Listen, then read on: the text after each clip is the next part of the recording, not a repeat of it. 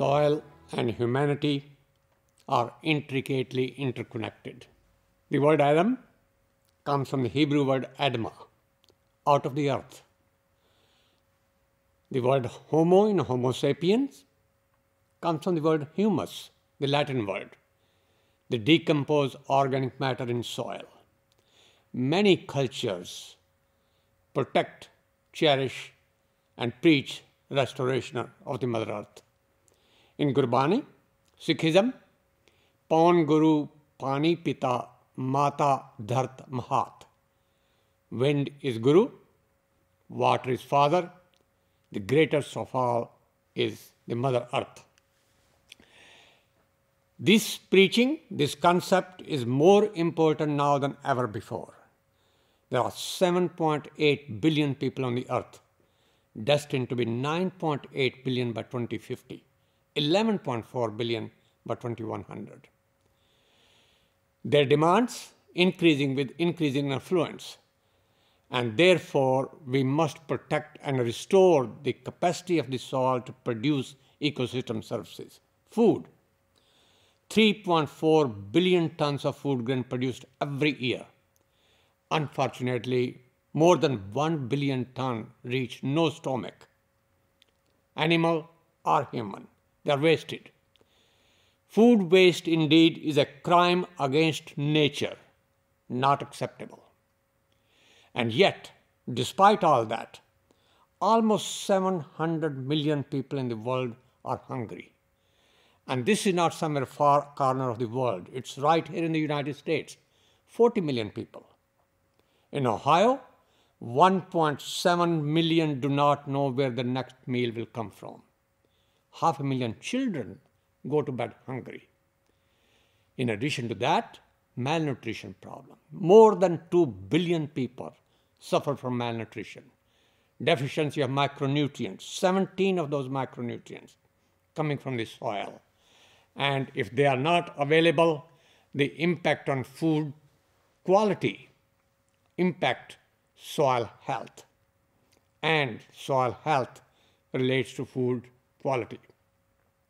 The fact remains the empty stomach, the fire that burns in it, is so ferocious, so hot, so intense that it can only be quenched by the divine power in a loaf of bread made from grains grown on a healthy soil.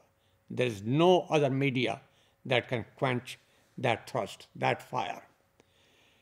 The health of soil has also strong impact on climate change. And this is something not very much appreciated. The soil has been a source of greenhouse gases ever since the beginning of agriculture, 10,000 years ago. In fact, soils have contributed about 135 gigaton of carbon to the atmosphere. And if we can adopt better agricultural practices, soil can be a sink of atmospheric carbon dioxide. The capacity of the soil to absorb CO2 in the United States alone, 430 gigaton, that's billion tons, out of the total emission of 1350 gigaton, almost one fourth or one third of the anthropogenic emission, both at national scale and at global scale can be offset by carbon sequestration, soil and vegetation. Between 2020 and 2100, next 18, 80 years, we can sequester as much as 330 gigaton of carbon in soil and biota. That translates to roughly 150 parts per million of drawdown of atmospheric CO2. But that's not enough to mitigate climate change. We must find alternate to fossil fuel emission to be able to offset whatever is being emitted by human activity. One should also never forget the fact that the health of soil depends on the soil organic matter content. We must have at least 3 to 4 percent of organic matter by weight in the top 50 centimeter in the root zone because of the health of soil, plants, animal, people, environment, and the planet is one and indivisible. If the health of soil goes down, health of everything else goes down with it. The fact remains that the Agenda 2030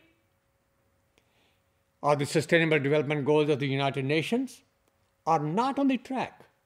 And they are not on the track because the soils have been ignored. End poverty by 2030. Achieve zero hunger by 2030.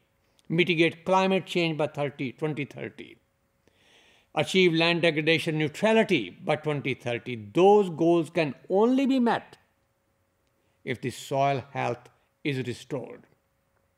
And that restoration of soil health requires understanding the basic concept.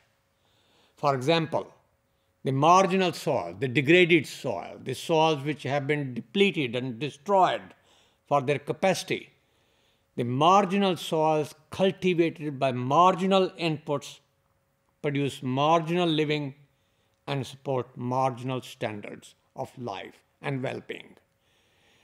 Poor soils, poor climate also create climate refugees.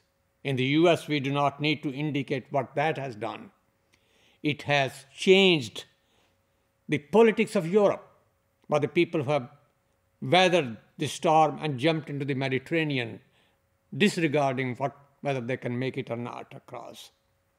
And that concept indicates that people indeed are mirror image of the land they live on. And when people are suffering, miserable, desperate, starving, they pass their sufferings to the land. Unfortunately, the land reciprocates. And this vicious cycle of people's well being not being met by the land and they passing their suffering to the land, land reciprocates, has to be brought to an end. And the entry point of that end point is the soil health, which must be restored and managed. But we are forgetting that. Mahatma Gandhi indicated that to forget how to dig the earth and to tend the soil is to forget ourselves. How dare we forget ourselves? How dare we forget where we came from? How dare we forget where we are destined to go? And with that, I say thank you, but never ever forget who we are and where we are going. Thank you.